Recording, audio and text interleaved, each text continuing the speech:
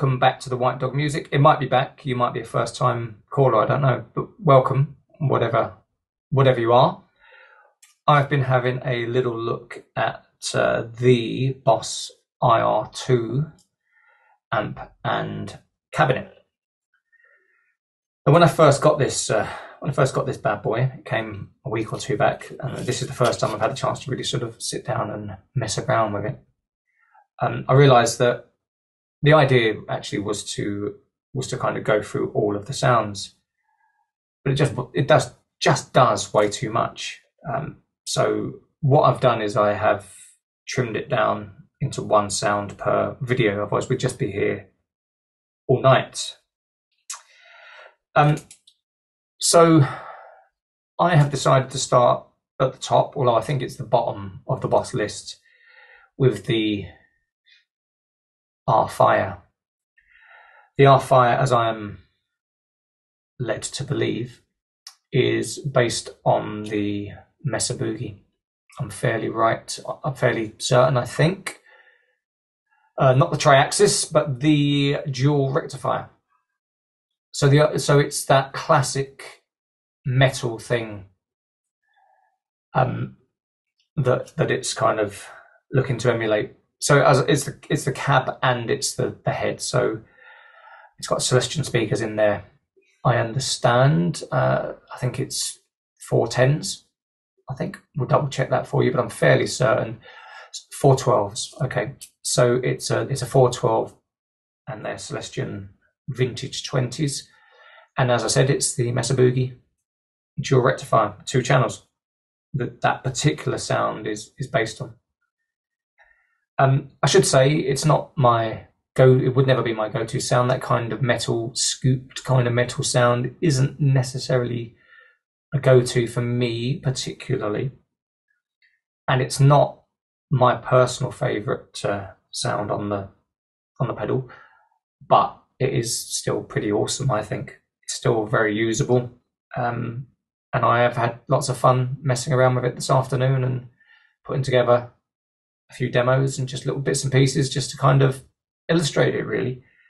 I think it's awesome. It's a great little thing. And uh, I suppose the Iridium would be the Iridium, wouldn't it, by uh, Strymon, which it kind of competes with, or doesn't really, because the Iridium by Strymon's got three heads and three cabs.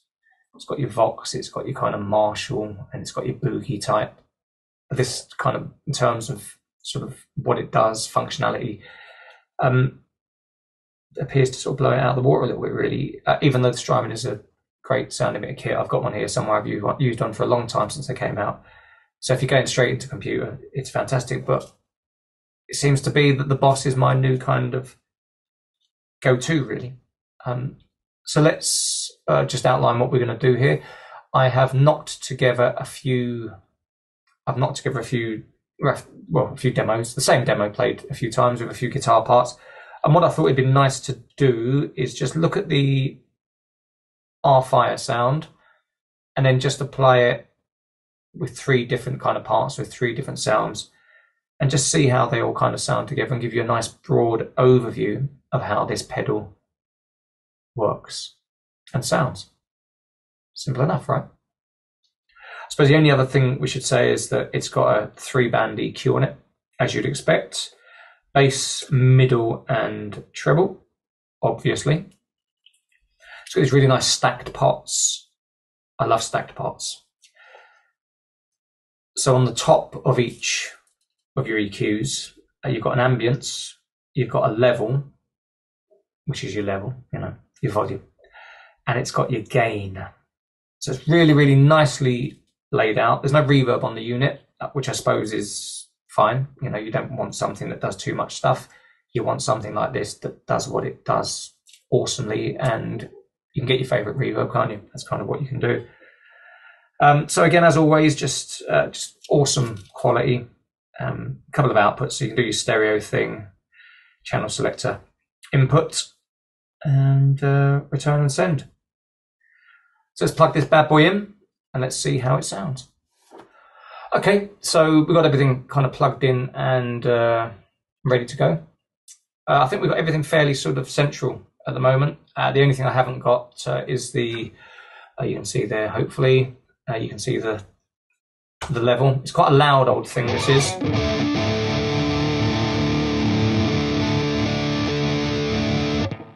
So yeah, level level's quite happy down there really. I suppose we'll start. Look, we're only going with one sound. We're only talking about the uh, the heavy sound, the refire sound. So uh, we'll have a very quick look at the EQ, I guess. Um, I mean, the bass I had a fiddle around with earlier, and I have to say. Um, the bass seemed to be quite sort of subtle. Um, yeah, it's definitely kicking in there, isn't it? Um,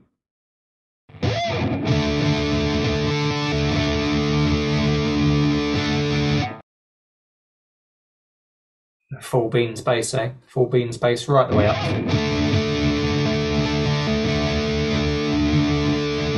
Who needs a bass player? Eh? But we'll keep that. Um, what I'm going to do is I'm going to keep it uh, knocked off central, just a smidgen for that slightly kind of scooped kind of sound, which is what I'm presuming the vast majority of people using this pedal are going to kind of be interested in, in using.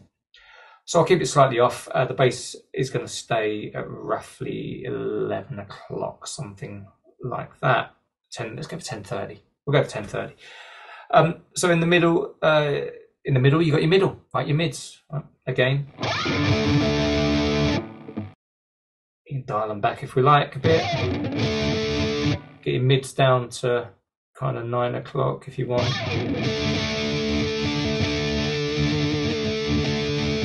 Uh, I'm going to keep them up kind of again because we want those mids in there. I'm going to keep them at about half one, two-ish.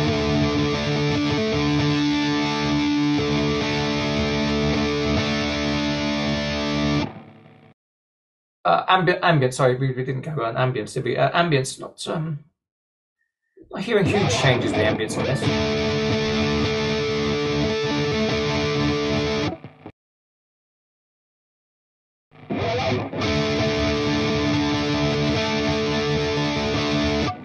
present there.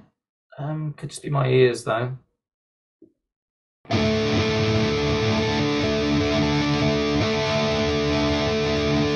It's quite quite subtle the ambience on that on that setting. Let's dial it all the way in though.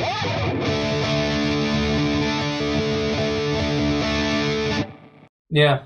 Oh, well, look, let's keep the ambience in the middle. Um, I'm not hearing huge uh, are hearing huge differences there, but then you don't. Sometimes you don't need to, right? Sometimes it's about subtle touches, uh, and then we've got the uh, we've got the treble, haven't we? Um, we know what the treble's going to do, right? Going to blast our ears off. So when here that kicks in, that really kicks in, kind of straight away. When we take it off,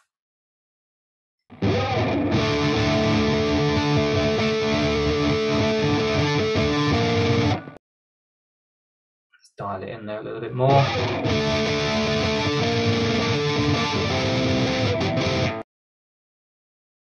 Cronk, cronk, cronk.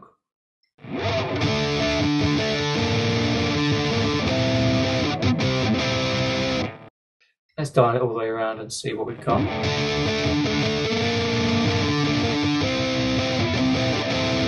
Yeah, we'll um, we'll end up with ear fatigue at some point, won't we, for that?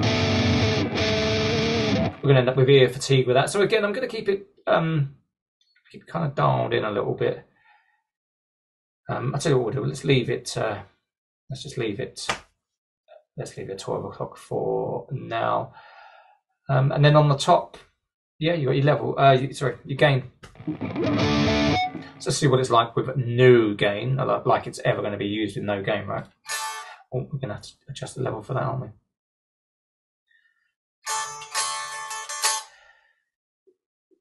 Okay, so with no level, sorry, with no gain, we get zero and zilchy, zilchy, zilch. So you won't be getting any nice clean guitar sounds with it. So what's that? That's at about uh, about nine o'clock, give or take. Quite sort of hard sounding.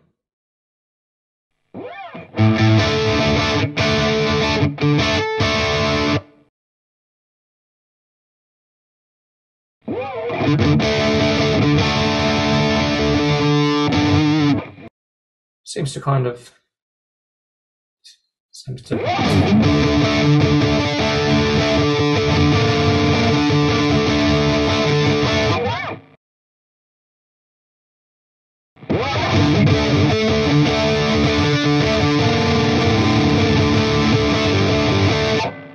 So there you go. That's what we're kind of sounding like in terms of uh, in terms of EQing and various bits and gubbins that are on the on the pedal itself. Uh, a wide range of stuff happening.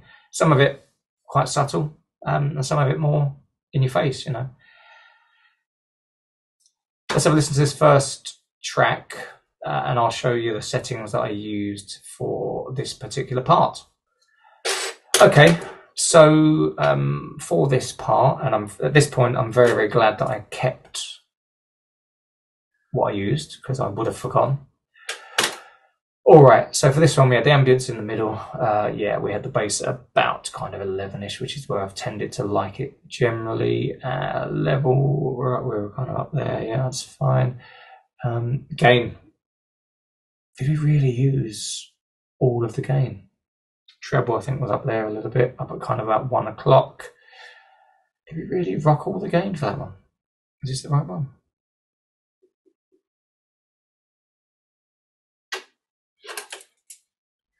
Let me just make sure I'm looking at the right one. Hang on a second. No, I'm not. I'm looking at the third one. I did I did less gain for these. I know I did less gain. Settings are basically the same. Um, so all right. So this one, the game was actually uh, at around three o'clock. So for this particular rhythm part,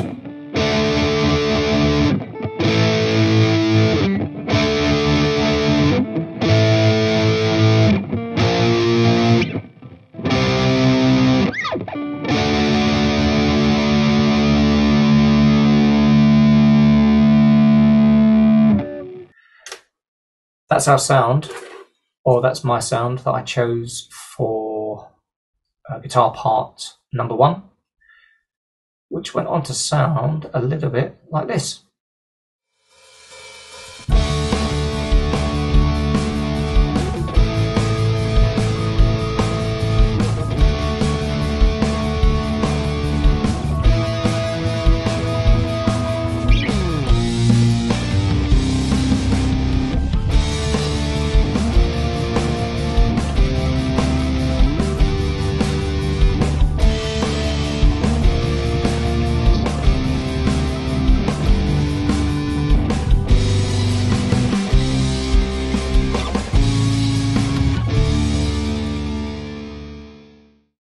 Okay, so I should say that if you like uh, the sounds that we're creating here using the IR2, if you like anything we've done, if you like any of the Bossa Waza stuff, any of that kind of stuff that I spent a little bit of time recently playing around with, you can find links to everything in our Thomann store. Uh, down below, we are Thomann partners.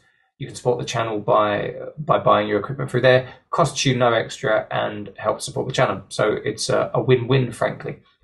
All right, so for this second sound, uh, basically kept everything the same and uh, I just knocked the gain out really. So we, we took some gain off. We went down to 9 a.m. with the gain just to give us a little bit more clarity and a little bit less heaviness in the second guitar part.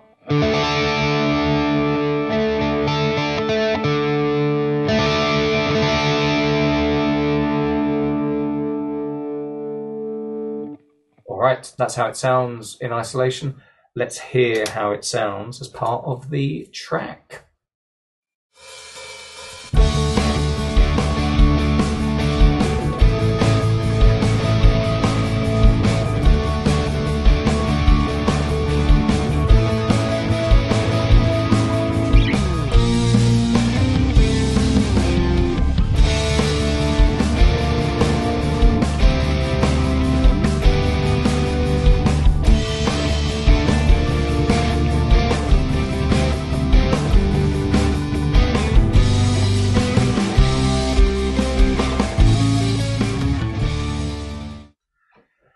Okay, so for the third and final part, I, I, I just I did what basically I think everyone wants to do with this pedal and this sound. Really, I just turned the uh, I turned the gain up to max just to see how it sounds. You know, um, I think it sounded all right.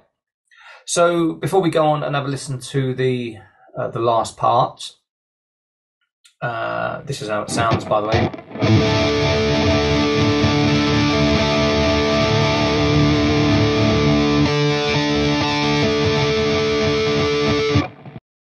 Biblical, it's biblical sounding.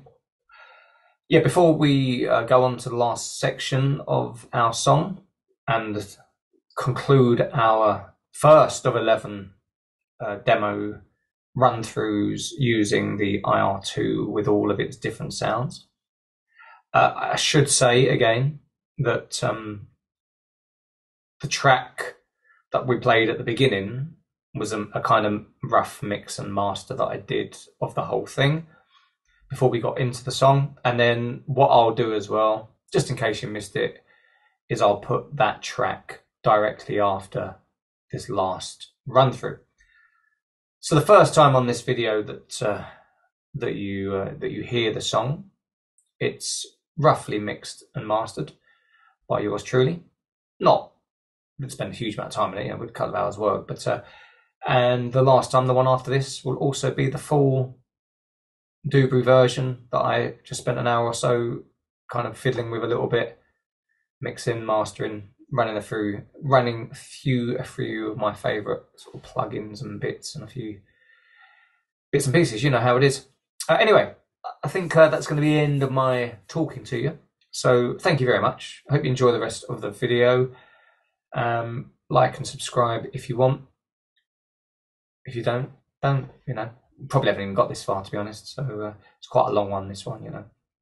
So yeah, like, subscribe, leave comments, let me know what you think. I don't mind whether it's good, bad, or indifferent, particularly, you know. And uh, I will see you again real soon for more Waza stuff, um, IR2 boss stuff. That's what I'm, I'm on a bit of a Waza tip at the moment. See you real soon. Oh, and I'll leave links to other videos in the in the bottom as well in the description. You'll see everything you might need